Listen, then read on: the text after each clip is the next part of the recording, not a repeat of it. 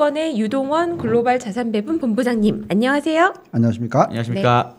오늘도 멋진 모습으로 나와주셨네요. 감사합니다. 네. 네. 아니 요즘에 이, 이 음. 전쟁 얘기 때문에 네. 뭐 계속 시장의 불확실성 걱정하시는 분들이 계속 많으시죠? 본부장님 많죠. 찾으시는 분들이 많으실 것 같아요. 네. 음, 그렇죠. 네. 많으신데 그래도 어쨌든 투자는 해야 되니까 지금 음, 우리가 지난주에가 사실 이 아, 방송할 때가 상당히 네. 힘들었, 힘들었던 아 때죠. 진짜 네. 정말 힘들었죠. 예, 예. 네. 바로 내가 이제 침략을 했다는 뉴스 터졌던 날이었고 그죠? 그리고 아마 시작을 마이너스 3%인가 해서 네. 이제 플러스 나스닥이 3%로 끝냈으니까 하루 스윙이 거의 뭐 6%, 7% 이런 스윙이었고, 어, 그다음에 이제 사실 전쟁이 실제로는 일어날지 안 일어날지 몰랐었을 때는 어, 제가 그 전주에 금요일 날 투자에 대해서 음, 저희 이제 신규 고객, 기관 고객들의 어, 투자 금액을 이제 현금 소진을 다 했었다고 말씀을 드렸었고, 근데 이제 전쟁이 일어나면서 좀 더 빠졌다가 어, 이 차트를 보시면 이게 답이었어요. 지난 이게 월요일까지입니다. 이게 네. 어, 이게 어떤 거였냐면 이제 지지난주 금요일 날 저희가 이제 현금 소진을 다 했었는데 어, 지난주에 이제 실질적인 어, 전쟁이 터졌었고. 어, 그리고 더 마이너스를 갔었지만 결국 한 주를 끝낸 건 플러스이죠. 예, 나스닥이 1% 플러스로서 끝냈어요. 그래서 어, 지금 어, 뭐 이렇게 뭐 전쟁이 일어난 건 너무나 안타깝고 정말 답답하고 어, 힘든 부분이지만 투자자의 입장에서는 어쨌든 음, 어제까지의 저희가 운영하고 있는 그 기관 고객 랩 수익률이 플러스 2.3%가 나오고 있으니까 네.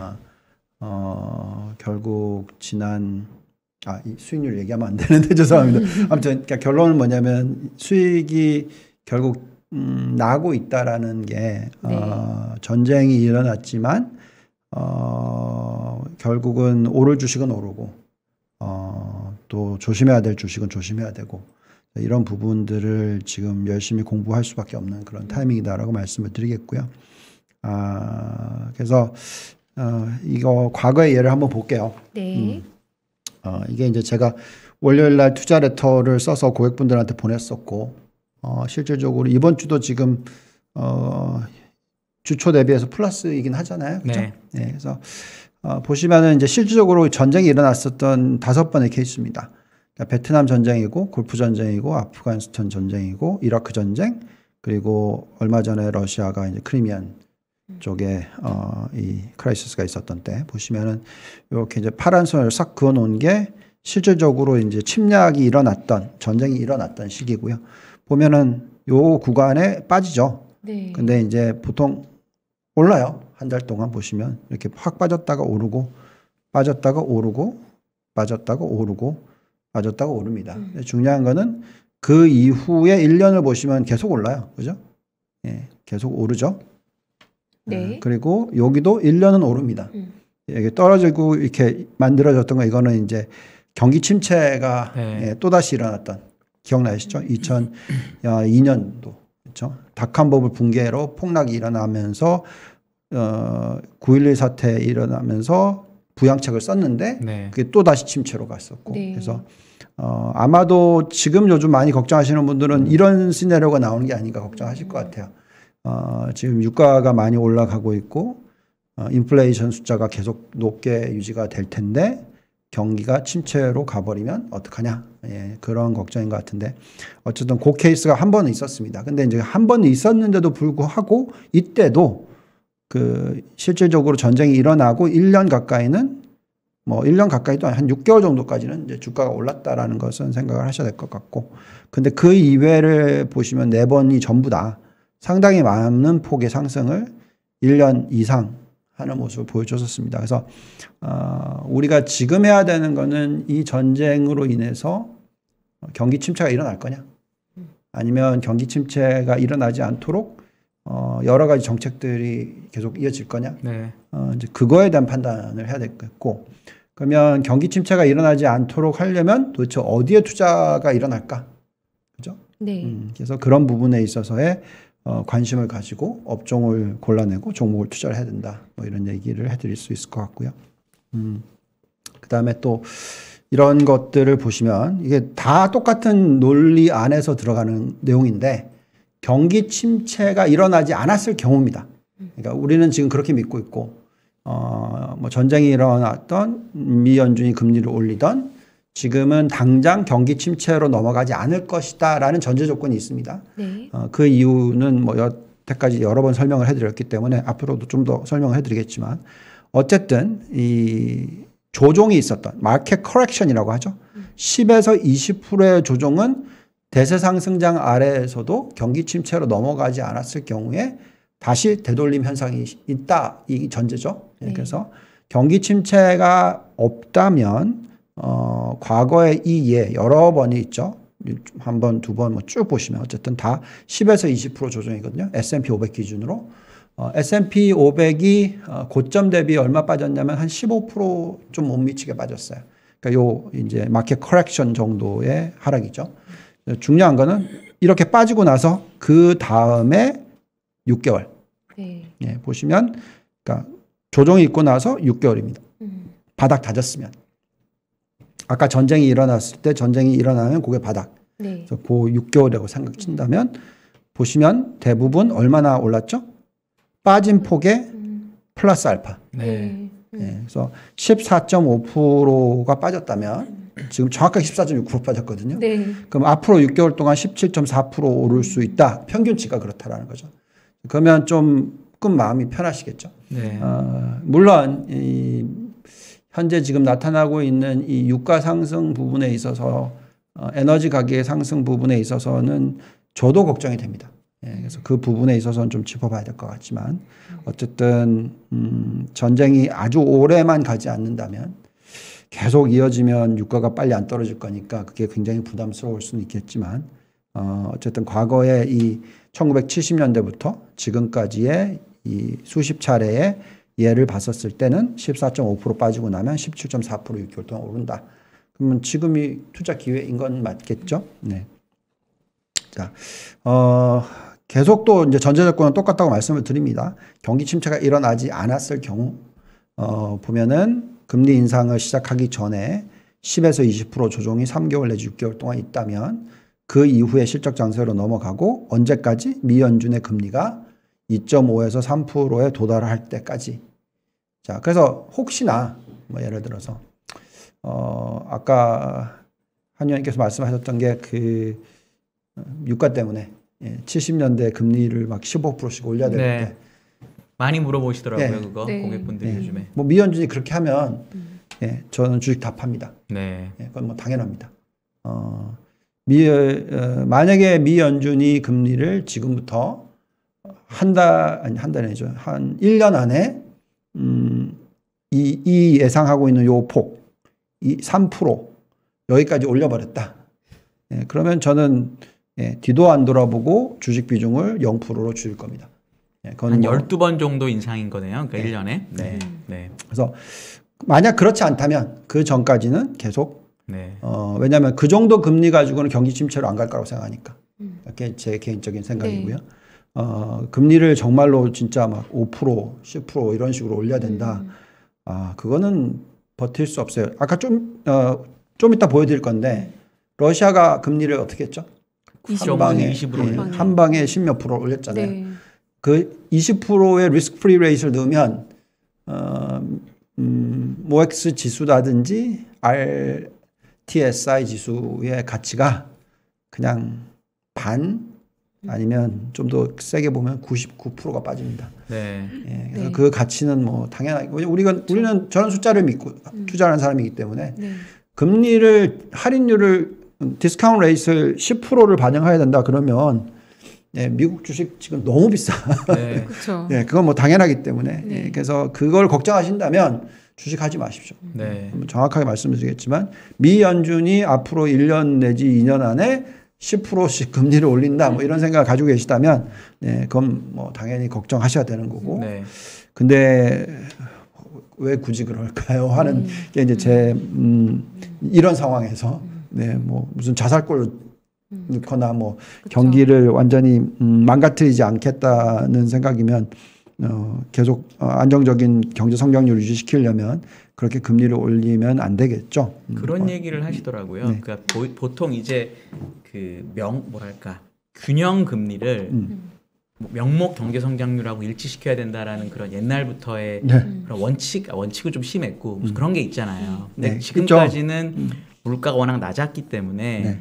그거보다 조금 금리가 낮은 거는 음. 용납할 수 있는데 음. 지금 만약에 물가가 뭐5% 6%로 좀 간다. 음. 그럼 명목 성장률이 훨씬 높게 나오잖아요. 아, 과거에 그렇죠. 비해서. 음. 그러면 금리를 어느 정도 거기에 갖다 붙여야 되지 않느냐 그렇죠. 이런 로직이거든요. 사실 그런 건 어떻게 보세요? 그래서 그 로직에 있어서 제가 말씀을 드렸던 부분은 뭐냐면 옛날보다는 금리가 높은 게 맞아요. 그리고 또 옛날보다는 그 금리를 감당해 낼 수 있는 정부라고 얘기를 해드렸죠. 네. 그러니까 옛날 같으면 음, 그 전 사이클이 기억하시겠지만 0%에서 2.25까지 올렸잖아요. 네. 그리고 더 이상 올리지 못했고 거기서 오히려 내리기 시작했잖아요. 그쵸. 예, 그 전에 큰 하락장이 왔고 예, 그 시장보다는 튼튼하다. 네. 예, 그래서 현재 인플레이션을 감안하고 현재 펀드멘털을 감안했었을 때 금리가 3%까지 올려도 괜찮을 정도의 네. 수준인 것 같다. 음. 근데 3% 이상 올리기 시작하면 상당히 부담스러워진다고 네. 저는 판단하는 거고요. 네. 어, 그래서 명목상으로 그 4%까지 올릴 수 있을까 하는 부분. 음. 그 이유는 정부 부채 비율이 워낙 높아졌기 때문에 그걸 감당을 못 할 거고 그러면 이제 미국은 지금 전쟁이 일어났고 여러 가지 이슈 때문에 달러 강세로 가고 있고 괜- 안정적인데 기축통화인데 어, 결국 신용등급 강등 가능성도 생기는 거고 그렇지 않습니까? 예, 부채 비율이 지금 유럽보다도 높아졌고 정부 네. 부채 비율이 일본 다음인데 음, 결국 신용 등급이 굉장히 안 좋아질 수 있는 가능성 옛날에 S&P가 어, 신용등급 강등한 적도 있었고 네, 그래서 뭐 그럴 리는 없겠지만 어, 금리를 정말 빨리 올려야 된다라는 케이스가 돼버리면 그럴 수 있으니까 네. 그래서 미 연준은 저는 그렇게는 안 할 거라고 생각을 하고 있고요. 음. 물론 그거는 이제 어삼션이죠. 그러니까 우리 예측을 하는 거고 실제로 어떻게 될지는 지켜봐야죠. 네. 어, 근데 이제 우리가 보통 미 연준이 어떤 금리에 대한 결정을 내릴 때 어, 우리가 core CPI를 보지 어, 실제 인플레이션 숫자로 보고 네. 얘기를 하진 않잖아요. 맞습니다. 네, 네. 네, 근원 인플레이션이라 하면 뭐죠? 예, 에너지 에너지 가격과 가격을 가- 어, 식료품 가격을 뺀 숫자잖아요. 네. 근데 지금 이 전쟁이 그 양쪽을 지금 때리고 있는 거니까. 예, 그래서 최근에 어, 밀 가격 튀는 거, 왜 우크라이나가 밀 아, 생산량이 글로벌 8위고, 그 다음에 전체 수출 국가로 따지면 전체 비중의 한 11.8% 정도를 수출한다고 하니까 네. 예, 밀 가격을 튀게 만들고 뭐 그 이외에도 워낙 비옥한 땅을 갖고 있기 때문에 어 제가 이런 통계를 본 적이 있어요. 좀 이따 보여드리겠지만 뭐 거의 6억 명분의 식량을 생산을 하는데 네. 예. 어, 우크라이나 인구가 4,400만이니까 네. 거의 대부분 다 수출한다라는 건데 그게 수출이 안 되면 뭐 당연히 어 그게 이제 곡물 가격을 높게 만드는 그런 영향을 미칠 수 있고 근데 또 말씀을 드리지만 그 두 가지는 근원 인플레이션에 제외되는 현상이니까 미 연준이 겨- 이 영- 어, 어떤 이 정책적인 어, 결론을 내릴 때 어, 이 전쟁 때문에 일어나는 인플레이션 때문에 결정을 내리기에는 어, 정말 전쟁이 엄청난 장기화가 되지 않는 이상 그리고 자체적으로 식량 생산이 안 되는 게 아닌 이상 네. 어, 음, 또 에너지가 자국이 아닌 이상 그럼 그거가 문제가 되겠지만 네. 뭐 미국의 입장에서는 에너지 가격이 올라가면 그냥 자기네들 실수하고 수출 안 하고 그냥 가격 안정시켜 버리고 네. 또 식, 식료품도 자기네들이 자체 생산을 해서 수출 안 하고 하면 되는 거니까 그래서 미국의 입장에서는 어, 그걸 가지고 인플레이션 때문에 금리를 빨리 7%씩 10%씩 이렇게 올릴 가능성은 저는 거의 없다고 생각을 네. 하고 있고요. 네. 자, 그래서 지금 현재 시점에서 과거하고 다, 다르다라고 생각하지 않고 과거처럼 어떤 이 조종이 있는 케이스다라고 생각을 한다면 여기에 나와 있듯이 지금 S&P, S&P 500이 한 번 바닥을 만들었고 네. 그 다음에 올라갔다가 두 번째 바닥을 만들고 올라가는 듯 했으나 그게 아니고 또 빠졌죠. 이게 이제 전쟁 때문에 나타난 현상이고요. 어, 보시면 고점 대비해서 이 고점 대비해서 여기까지 두 달 동안에 14.6% 빠졌습니다. 그리고 지금 반등하고 있는 상황이고요. 그 다음에 나스닥도 마찬가지로 고점 대비해서 여기까지 22.37%. 그러니까 20% 넘어섰어요. 지금 쌍바닥을 만들었는데 두 번째 바닥이 더 낮은 바닥이 만들어졌어요. 보통 이제 대상승장 아래에 있을 때는 보통 쌍바닥을 만들더라도 두 번째 꼬리가 좀 더 높은 편인데 그렇죠. 이렇게 빠지는 모습을 보였다는 것 자체가 지금 전쟁에 대한 장기화 우려라든지 이런 것들이 반영이 됐다고 생각을 하고 있고요. 그래서 그러면 과거에 이런 적은 없나 한번 봤어요. 그래서 두 번의 예를 저희가 뽑을 수가 있었는데요. 어, 아, 우선 그 전에 이 원래 아까 처음에 요 차트를 보여드렸을 때 10에서 20% 조정이라고 얘기했잖아요. 네. 근데 이제 지금 그것보단 더 많은 조정이잖아요. 22.3%까지 빠졌으니까. 그러니까 그렇게 보는 이유는 전쟁 때문이다라고 생각하는 거고 그 지정학적 리스크가 S&P 500의 변동성을 자극했던 게 평균적으로 마이너스 4.6%니까 20% 플러스 알파.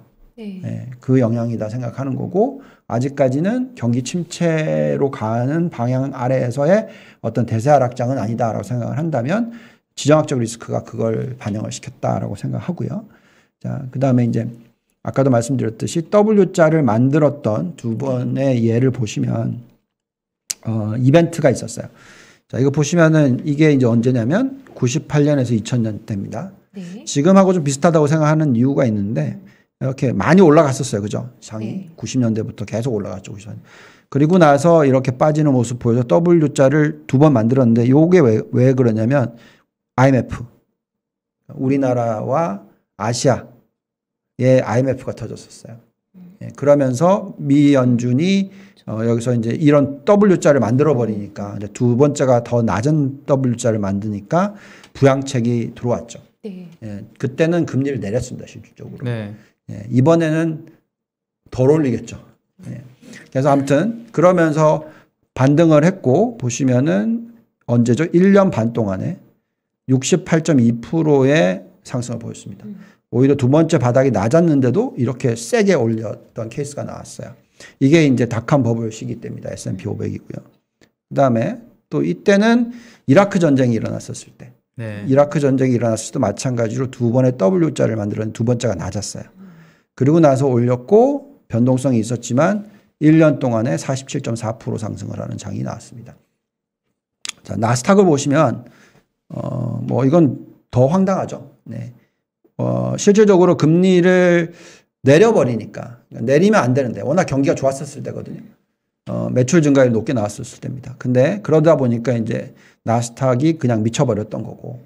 어, 그래서 저는 이런 모습은 안 나오 겠다고 생각하겠, 왜냐면 금리를 안 내릴 거니까, 미국이. 네. 예, 금리를 올리긴 올릴 거니까. 근데 제 속도를 더디게 올릴 것 같다는 생각은 들어서 그렇다고 하면은 제법 뭐 큰 상승장이 나오지 않을까라는 생각은 갖고 있는데 얼마나 올라갈지는 전 정답은 없어요. 그래서 그거는 이제 계속 지켜보면서 판단할 거고요. 음, 마찬가지로 이라크 전쟁이 있었을 때도 W자 만들고 71.9%나 1년 동안에 상승을 합니다. 예, 그래서 어, 어떻게 보면 이제 전쟁이 일어나면 정말 두렵잖아요, 지금. 그죠? 그래서 다 던져야 될 것 같고, 뭐 심지어는 뭐 핵 얘기가 나오고 있고 그렇기 때문에 뭐 다들 지금 아찔아찔하기 때문에 주식 못하겠다고 생각하시지만, 어, 네, 음, 위기가 기회가 될 수 있다라는 것은 저는 알겠는데, 어, 중요한 거는 그, 어, 위기를 사면 안 되겠죠. 그러니까 위기를 기회로 만들어야 되지. 그러니까 러시아는 투자하지 마십시오. 네. 네. 그렇죠. 네, 그거는 이제 뭐 결국은 어, 전쟁이 일어난다는 것만큼 정말 악몽은 없죠, 사실. 예, 그래서 하루 빨리 좀 빨리 이게 지나가기를 바라는 거고 과거의 이 이해도 어, 이라크 전쟁도 그렇게까지 오래 가지 않았었고, 네, 음, 빨리 좀 뭐 멈추기를 바라고 있는 건 사실이고요. 그래도 이제 한 가지 그 보여주신 차트들 상으로 봤을 때 그러면 이번에 단기에 좀 바닥점은 지나가고 있다. 이미 그 저희가 최악의 날을 지나갔다. 이렇게는 좀 볼수 네. 있다고 보시는 거죠? 네. 그렇기 때문에 제가 투자를 전쟁이 안 일어나길 바랬지만 음. 어, 전쟁이 일어난다 하더라도 그게 바닥이 될 거라고 생각했기 때문에 어, 현금 소진을 그 전주 금요일 날 했겠죠. 네. 어, 물론 좀 아쉬운 거는 조금만 더 기다렸으면 훨씬 조금 더 낮게 살수 네. 있었겠지만 어쨌든 만족은 합니다. 네. 예, 어쨌든 지금 플러스가 다 났으니까. 전쟁 상황이 발생한 거를 과거 사례랑 비교해도 음. 원래 전쟁이 안 났어도 바닥은 지나갔어야 되는데 네. 전쟁 난 것까지 감안해도 음. 너무 크게 걱정할 단계는 지나갔다. 네, 저는 그렇게 생각하고 있고요. 네. 자, 그러면 이제 이번에는 그 이 우크라이나 이 러시아 전쟁에 대해서 좀 한번 좀 들여다보죠. 어, 워낙 이제 유가 영향이나 이런 것들이 많으니까 보시면 이제 뭐 이게 지금 저도 깜짝 놀랐어요. 이 정도일까? 정말 땅은 축복받은 땅이더라고요. 그죠? 예, 우라늄 매장 세계 1위, 티타늄 매장량 세계 10위, 유럽 1위, 학교다닐 때 망간 세계 배웠던 2위, 예, 철광석 매장량 세계 2위, 네. 뭐 수온 매장량, 셰일가스 매장량, 석탄, 암모니아, 원자재 매장량 총 가치로 따지면 세계 4위랍니다. 네. 아, 그래서 예, 러시아가 참 예, 이걸 예, 아무튼 그, 참 답답하죠. 자, 그다음에 이제 이 식료품으로 보면 음, 그 식, 식량으로 보면 옥수수 생산량 세계 3위고요. 해바라기 생산량 세계 1위, 감자 생산량 세계 4위, 밀 생산량 세계 8위, 총 식량 생산량이 인구 1, 6억 명분이랍니다. 네. 예. 근데 우크라이나 인구가 4천만 명 좀 넘는 수준이니까 정말 이게 당연히 이제 뭐 음식료 가격과 그 다음에 이제 러시아는 또 다른 부분들이 있잖아요. 네. 그래서 그 영향을 미치는 건 어쩔 수 없다라고 보고 있고 자 그러다 보니까 이제 이 유가가 이렇게 돼 버렸어요. 그죠? 음. 지금 111달러 오늘 얼마죠? 113인가? 조금 오- 한 2, 3% 오르는 것 같아요. 네, 그죠? 2.7% 오르네요. 네, 예, 그래서 지금 뭐 계속 올라가고 있기 때문에 이 113. 부분을 신경을 안 쓸 수는 없죠. 지금 WTI가 113.58이네요. 그죠? 네. 예, 그래서 이 차트를 보고 있으면 과거에 이만큼 올라간 적은 이제는 아. 요때밖에 없어요. 예, 2007년, 2008년 요때. 저건 예, 좀 그래서, 무섭네요. 예, 무섭죠. 네. 예, 천연가스는 근데 그나마 보시면 요때하고는 비교가 안 될 정도 낮습니다.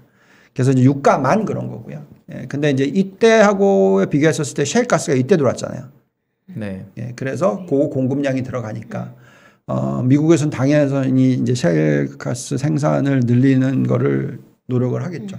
예, 그래서 요게 빨리 잡힐 수도 있다라고 저는 생각을 하는데 아무튼 좀 더 지켜봅시다. 네. 근데 그나마 지금 아직까지는 그 정말 어떤 이 인플레이션 발 위기가 터질 가능성에 대해서는 좀 덜 걱정하는 이유는 천연가스 가격도 그렇고요.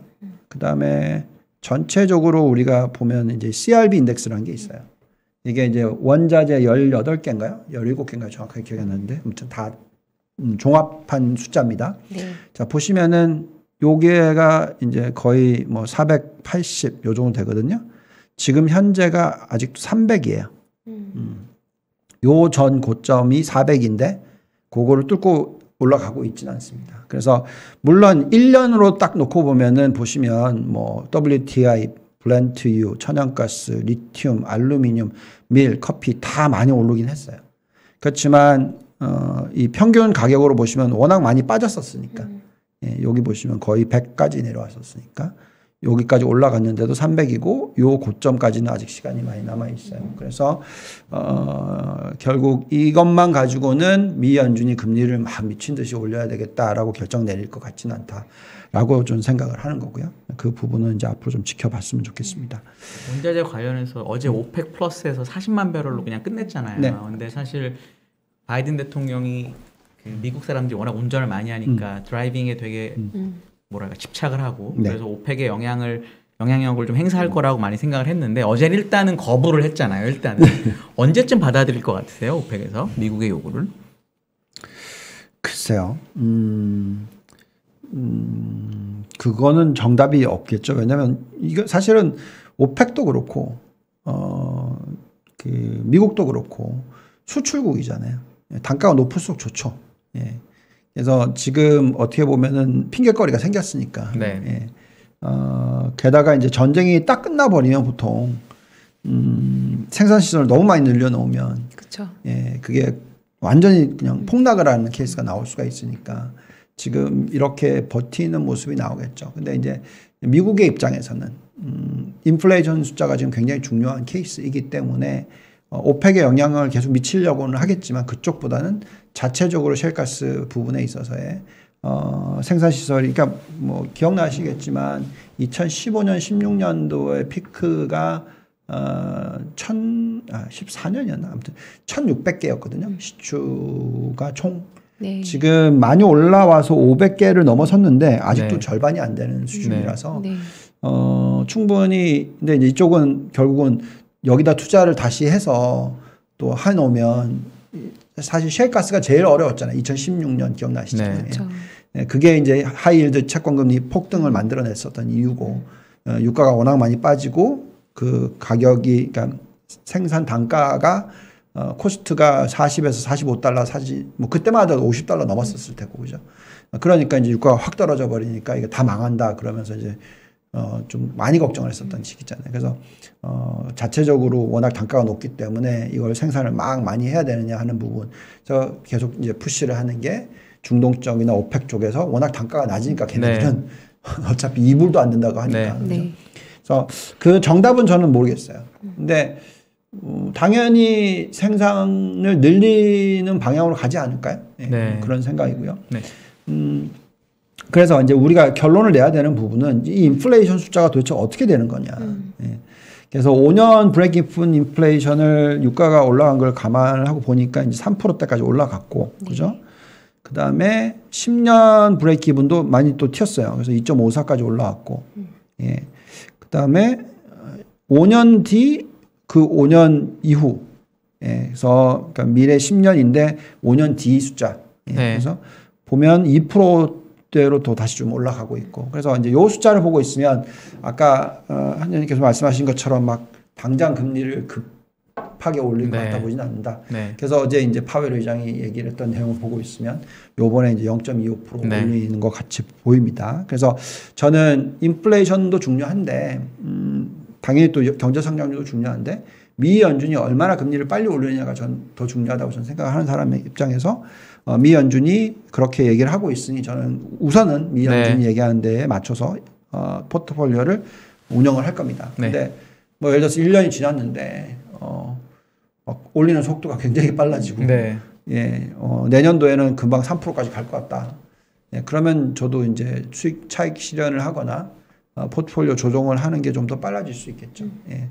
음, 뭐 다들 저보고 콜 동원 뭐 아니면 뭐 맨날 좋게만 얘기한다고 하지만 그냥 저는 그냥 사이클대로 전략을 네. 얘기하는 것 뿐이고요. 네. 자, 그래서 지금 3월 금리 인상 전망치가 제가 이게 월요일 날 만들었었던 숫자였는데 지금 오늘 아침에 다시 보니까 이- 이렇게 나오더라고요. 네. 어, 어제 밤이었나 봅니다. 네.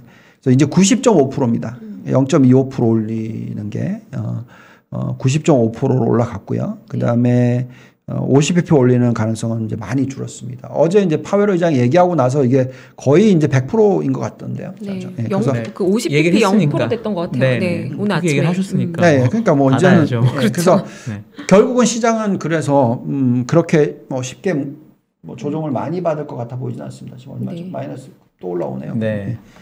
예, 그래서 그다음에 이제 제가 말씀드린 건 더 중요한 건 도대체 언제 3%까지 올리냐, 2.5% 이상까지 가느냐 하는 부분인데 어, 현재 보시면은 어, 연말까지 그 1.5%까지 갈 가능성이 높은 거지 어, 더 이상은 아닌 것 같습니다. 예.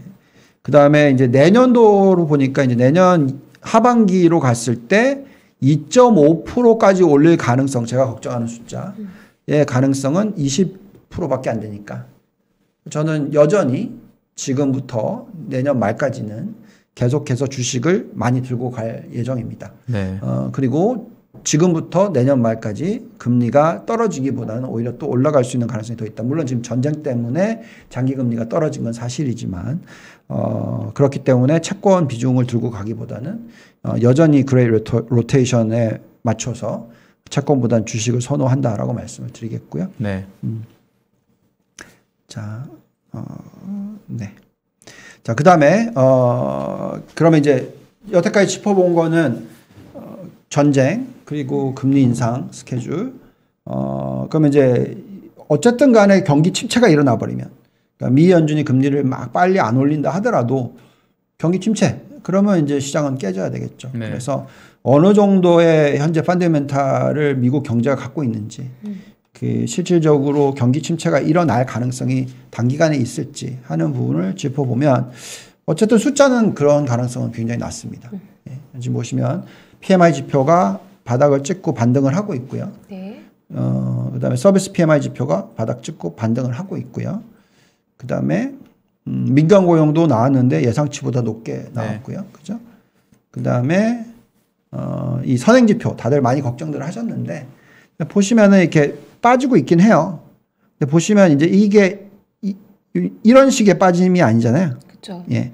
이게 어떻게 된 거냐 옆으로 겨요 이렇게. 지금 미국은 선행 지표가 99.9가 계속 이어지고 있어요. 그러니까 옆으로 가는 케이스거든요. 그럼 이 경우에는 경기 침체로 갈 가능성은 정말 음, 적다. 물론 갑자기 지금 올라간 이 유가가 영향을 굉장히 많이 미쳐서 그 소비에 대한 센티먼트를 확 죽여버리고 여기에 따라서 이제 큰 뭐 충격이 온다. 그러면 경기 침체로 갈 수도 있겠습니다. 그래서 얼마나 장기화될지 부분에 있어서 조심스럽게 계속 지금 에너지 가격은 지켜보고 있는 건 사실입니다. 네. 그다음에 어, 미국의 지금 이제 장단기 금리 차를 보면서 말씀을 드리는 내용인데 어, 과거에 단 한 번도 10년 마이너스 2년과 10년 마이너스 3개월의 국채 금리 차가 0%에 도달하기 전에 경기 침체로 간 적은 없다. 예, 그래서 지금 현재 시점에서 10년 마이너스 2년이 어제 보니까 0.36 네. 정도 되고요. 그 다음에 10년 마이너스 3개월이 1.5 정도 됩니다. 그래서 이 숫자가 언젠간 0%를 가겠죠.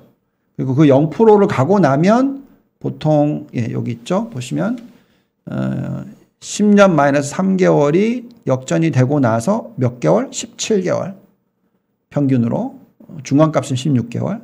그 다음에 10년 마이너스 2년 장단기 금리차 역전 시기에는 19개월. 예, 중간값도 19개월. 그러니까 1년 반 정도로 보시면 되겠죠.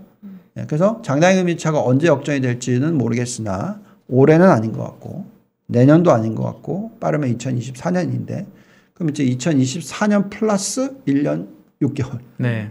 그러면 2025, 2026이 되겠죠. 예, 그래서 저는 경기 침체가 일어날 가능성이 높은 해는 2026년이라고 생각을 하는데, 네.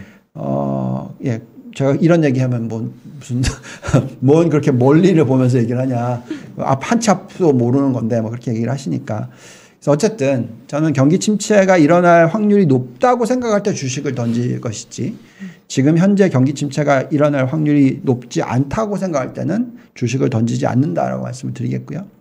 자, 또 그렇게 보는 이유는 전에도 뭐- 말씀을 드렸지만 이 숫자인데 어, 저렇게 장단기 금리 차가 유지가 되는 상황에서는 어, 항상 말씀을 드리지만 미국의 은행권이 여신 증가율을 줄일 이유가 없어요.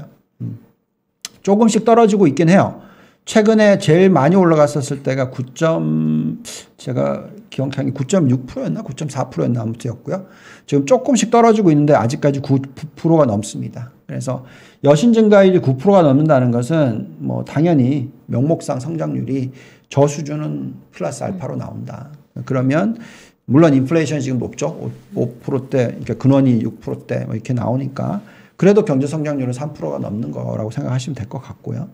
어, 자, 그다음에 이제 또 말씀을 드리지만 어, 통화량을 줄이거나 통화, 그러니까 통화의 증가 속도를 줄인다 하더라도 어, 현재의 예대율이 워낙 낮기 때문에 음, M2 증가율이 줄어든다 하더라도 대출 증가율이 높게 유지가 되면 경제 성장률은 유지가 되는 거죠. 네. 예, 그래서 어, 이 6차 사이클이라고 생각하고 있는 장단기 금리차가 확대되는 폭이 얼마나 될지를 판단할 거고요. 과거에 닷컴 버블이 붕괴됐던 시기도 보시면 이렇게 20bp나 20% 포인트나 올랐어요. 그리고 4차였던 산업재 버블이 일어났던 이때가 이제 유가가 폭등을 했던 때 이때도 마찬가지로 예대율이 10% 포인트나 상승을 했습니다. 이제 겨우 바닥 찍고 0.5% 올랐는데 0.4% 올랐는데 이게 한참 더 올라가야죠. 예, 그러면 아직까지 경제가 한참 더 많이 성장을 하고 끝날 것 같다라고 생각하고 있기 때문에 그 다음에 뭐 70년대 말씀하신 대로 여기도 마찬가지로 네. 뭐 그렇게까지 되려면 얼마나 투자가 많이 일어나야 돼요. 14% 포인트는 올라가야 되는데. 네. 네. 그러니까 지금 많이들 걱정을 하시는데 이제 이렇게 되는 거죠. 어 그냥 석유로 따지면 설비 투자에 대해서 석유 관련된 설비 투자가 왕창 늘어나겠죠. 유가를 떨어뜨리기 위해서. 네. 그래서 그게 이제 과잉 투자가 되고 나중에 이제 그게 확 리세션을 넘어가게 되는 빠르게 네. 될수 있는 가능성인데 그 전에 투자가 더 많이 들어간다는 얘기를 해드리는 거예요. 대출이 막 늘어난다라는 것은 그만큼 투자가 막 늘어나야 되는 거고 그 투자가 막 늘어나는데 실질적으로 펀디멘탈 뒷받침 안 되면 생산성이 떨어질 거고 네. 그러면 나중에 이제 폭락장이 연결이 되는 거죠. 지금 현재 시점에서는 이제 대출을 막 늘리는 상황에서 어 이게 벌써 끝났다 이렇게 얘기하기에는 어 훨씬 더 숫자가 먼저 많이 더 들어오고 나서 끝난다라고 말씀을 드리는 네. 거죠. 네. 자, 그래서 그 지금까지 쭉 설명을 드렸던 부분은 이제 한 10분 정도 남았는데 이제 이제부터 말씀드리고 싶은 거는 이 타이밍에서 이제 우리가 포트폴리오 구성이 정말 중요해요. 어, 만약에 언제든 어쨌든 전쟁은 이제 마무리 한 달 안에 일어난다고 치고 네. 예를 들어서 어 그리고 경기가 침체로 안 넘어간다고 예측을 하면 네. 지금 현재부터 어떤 포트폴리오를 구성을 해서 앞으로 상반기를 넘어가야 되냐 하는 부분인데 어 저는 계속 7대 3 전략을 얘기를 하고 있어요. 7대 3이라 함은 70% 성장주, 30% 가치주라고 얘기를 하고 있습니다. 자, 근데 이제 가치주로 우리가 지금 보고 있고 다들 이제 신경을 쓰고 있는 업종들은 당연히 음 우리가 얘기하고 있는 유가 관련주들. 그다음에 원자재 관련주들. 네. 그 다음에 금융주 뭐 이런 것들 아니겠습니까? 그죠? 우리가 흔히 가치주라고 얘기하는 네. 것들이. 자, 그래서 이제 저희가 한번 모델들을 돌려봤는데, 어, 원자재 관련주 중에서 이제 이거는 전부 다 보시면 이제 유가 관련주들이에요. 그래서 XOP ETF를 돌려보니까 아직까지도 상승 여력이 제법 많이 남아 있더라고요.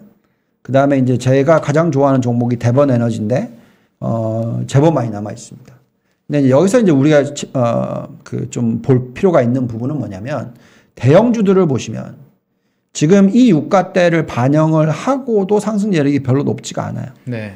보시면 엑선모빌, 쉐브론, 그 다음에 마라톤 페트롤리움. 그래서 지금 유가가 이거는 이 월요일 날 본 거였으니까 지금 그때가 유가가 93달러 뭐 이랬었으니까 더 올라갔으니까 얘네들 숫자가 더 좋아질 수도 있습니다. 네. 근데 저는 이제 뭐라고 얘기를 하고 있냐면 유가 관련주들은 전체의 글로벌 포트폴리오 안에서 5%만 가져가자. 네. 어, 그리고 만약에 지금 20% 들고 계시다면 제가 에너지 비중을 총 얼마 들고 가야 된다고 얘기하고 있냐면 전체의 25% 글로벌 포트에 그러면 25%를 다 석유 관련주를 두고 계셨다면 그 석유 관련주 중에 5%만 남겨놓고 나머지 20%를 어, 우리가 계속 얘기했던 게 저가 분할 매수 전략을 여태까 얘기했다면 이 업종은 고가 분할 매도 전략으로서 유가가 올라가는 날마다 이게 10%씩 네. 파는 거죠. 예, 그래서 그걸 어디로 집어넣느냐? 신재생 에너지로 넣는다는 거고 전체의 에너지 관련주 portion은 25% 유지한다 라고 말씀을 드리고 있고요. 그 다음에 또 다른 원자재를 보시면 당연히 여러 가지가 있겠죠. 글렌코어라는 종목도 있고 프리맥모, 프리포트 맥모란, 뭐 BHP, 서던 코퍼, 리오틴토 원자재 ETF 보시면은 어, 상승률이 굉장히 높게 나오는 게 이제 그리, 어, 글렌코어랑 그다음에 음, 뭐 서던 카퍼, 리오틴토 요 세 종목 정도 돼요. 네. 그래서 이것도 마찬가지로 원자재 관련주들을 전체 포트에 5%만 들고 가고 더 많이 들고 가셨다면 차익 실현을 고가 분할 매도를 하는 거고 가능하면 ETF 전체든 아니면 프리포트 맥모란이던 BHP 위주로 팔자. 예, 그렇게 좀 얘기를 하고 있고요. 네. 그 다음에 금융주는 어제 좀 많이 얻어 맞았나요? 그저께 얻어 맞았나요? 그저께 맞았고요. 어제는 좀 올랐습니다. 올랐습니다. 네. 네. 그래서 결국 어, 금융주는 이렇게 나오더라고요. 그냥 중립. 그래서 제가 뭐라 그랬죠? 언제 금융주는 비중을 확 늘리냐? 마지막 완전 이제 끝물 중에 끝물인 한 1년 정도가 굉장히 아웃퍼포먼스가 많이 나와요. 왜냐하면 그 아까 대출 증가율이 네. 10%대를 막 계속 유지를 하는 거죠. 몇 년 동안. 그러면 이제 마진율이 굉장히 올라가고 금리도 같이 올라가는 와중에서 일어나는 거니까 그러면 한 해의 실적이 갑자기 확 늘 때가 있어요. 그때가 이제 확 튑니다. 그래서 그 타이밍이 왔었을 때는 금융주를 전체 포트폴리오 20% 정도까지 가져가는데 지금은 10%. 예, 10% 정도면 충분하다. 그래서 더 이상 더 이하도 말고. 근데 이걸 어떻게 들고 가느냐? 종목을 골라내야 되느냐? 그럴 필요가 없어요.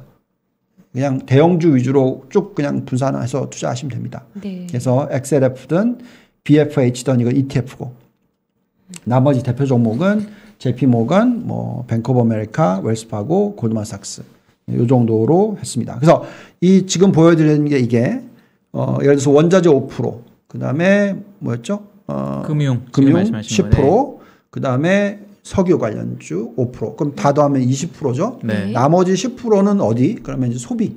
네. 네, 소비 관련주든 뭐 산업재 관련주든 네. 뭐 제가 가장 좋아하는 종목이 어, 아 말하면 안 되는구나 죄송합니다. 네. 예, 아무튼 뭐 어쨌든 소비주 중에서 네. 예, 네. 어, 괜찮은 종목들을 골라 보시는 게 어, 충분히 찾아낼 수 있을 것 같고요. 네. 네. 음. 자, 그럼 이제 성장주 남은 4분만 죄송합니다. 어, 2분만 얘기할게요.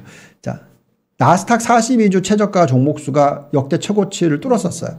네. 네. 그러니까 조정받을 건 이미 많이 조정받았다. 어, 아마 한 의원님께서 방송하시면서 그 얘기 하셨던 것 같은데.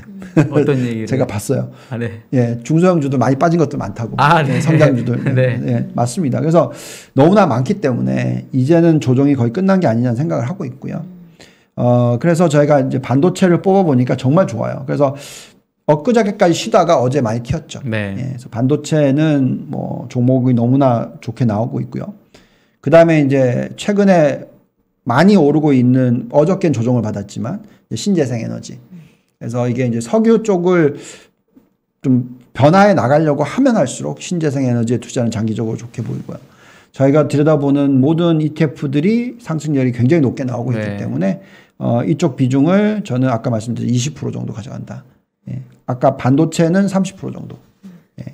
가장 대표적인 성장주가 뭘 제가 두고 가냐라고 다들 여쭤보신다면 전 계속 말씀드리지만 반도체, 신재생 에너지, 바이오 네. 예, 이렇게 가져갑니다. 어, 바이오는 음, 여기서 못 보여드리는데 제가 그냥 ETF로 두고 가고 있기 때문에 네. 상당히 높게 나옵니다. 사실 가장 높게 나오는 것 중에 하나고요. 근데 여기서 이제 제가 왜 성장주 70이라고 얘기를 하는지를 말씀을 드리면 네. 어, 이번 조정이 끝나고 막 끝났다고 치시면 여기서 올라올 때 최근에 뭐가 제일 많이 올라오죠? 나스닥? 네. 네. 나스닥이 훨씬 더 빨리 올라와요. 그렇죠. 예. 네. 가치주 쪽으로 가기보다는 오히려 또 성장주들이 튀어요. 네. 여기에 또 가상화폐도 같이 올라가죠. 그렇죠. 예. 네. 그래서 전체적으로 저는 이 긴 스토리에 대장주들이 끝났다고 생각하지 않고 마지막 화려한 불꽃이 남아 있다고 생각하거든요. 그래서 7대 3 전략이 맞다. 네. 그게 가치주 7, 성장주 3이 아니라 성장주 7, 가치주 3이 네. 맞다라고 얘기하는데 그것을 어디서 제가 그 아이디어를 봤냐면 중소형주를 들여다봐요. 근데 재밌는 거는 중소형주의 성장주의 상승 여력이 중소형주의 가치주 상승 여력보다 높게 나와요. 네. 그럼 이미 조정을 많이 받았다는 얘기죠. 네. 최근에 중소형주들이 좀 많이. 빠졌죠, 예, 또. 많이 네. 빠졌는데 반등이 빠르게 일어나고 있습니다. 네. 성장주 위주의 상승 여력을 보시면 여기 나와 있듯이 러셀 2000으로 가도 아주 작은 종목으로 가도 28.4% 나오고 가치주가 18.4%가 나오니까 네. 더 높아요. 그래서 요걸 보고 있으면 아, 이 가치주 성장주를 놓고 보더라도 중소형주를 봤었을 때도 아, 매력도가 성장주 중에 좀 더 있다. 그러면 우리는 이번 조정에서 튈때 어, 성장주 위주의 포트가 더 중요하지 않겠나 이렇게 생각을 하고 있습니다. 네. 네, 뭐 이상이고요. 다른 부분들은 뭐 예, 경기든 이런 부분들이 있고 아 요거 하나만 볼게요. 러시아 아까 금리 얘기하셨잖아요. 네. 러시아가 당연히 금리를 20%까지 땡기지 않았었을 때는 어, 상당히 매력 있는 어, 국가의 이- 예, 이 PR이에요. 보시면 3배예요, 3배. 네. 예, ROE도 뭐 상당히 높죠. 예, 20%. 네. 당연히 사야 될 것 같아 보이실 테고 그렇지만 어, 이 리스크 프리미엄과 이, 이 금리를 반영하게 되면 이렇게 돼 버려요. 마이너스 48%. 어, 모라토리움을 선언했기 때문에 리스크 프리미엄 11% 올려버리면 그냥 마이너스 92.4%가 돼요. 네. 예, 그래서 말씀드리지만 이거를 미국에 반영을 한다? 금리를 10% 올려야 된다? 예, 딱 이런 모습 나올 겁니다. 네. 예, 그래서 그거는 제가 볼 때는 그렇다면 주식은 하면 안 되시고. 예, 당연히 이제 그때는 뭘 해야 되겠죠? 아, 채권 인버스를 사셔서 들고 계시다가 예, 어, 그냥 달러 가지고 계시면 대박 네. 나시겠네요. 네. 예, 그래서 아무튼 우리는 숫자에 저는 충실하기 때문에 그 숫자를 놓고 봤었을 때 지금 현재 시점에서는 너무 걱정하지는 마시자 네. 말씀을 드리겠습니다. 네. 네. 이렇게 전쟁 악재로 시장이 불확실하고 흔들리는 국면에서도 그래도 우리는 음. 숫자를 보고 흔들리지 말자. 네. 이렇게 이제 메시지를 주신 것 같아요. 네, 오늘도 좋은 말씀 감사합니다. 네. 유동원 글로벌 어 아니 유, 유동원 유한타 증권. 유한타 증권의 글로벌 자산 배분 본부장님이셨습니다. 감사합니다. 네, 감사합니다. 감사합니다. 개인 투자자가 성공할 확률이 5%예요. 5% 안에 여러분들 드시려면 정말 노력 많이 하셔야 돼요.